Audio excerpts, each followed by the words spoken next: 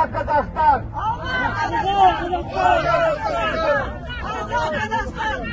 Требуем посадить Такаева в тюрьму.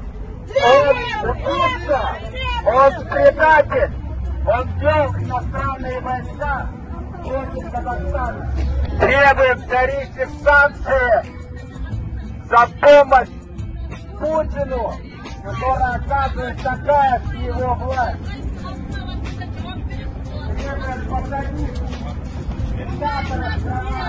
Назарбаева, Такаева. Требуем конфисковать все деньги, которые они своровали у народа. Требуем отменить нелегитимные выборы.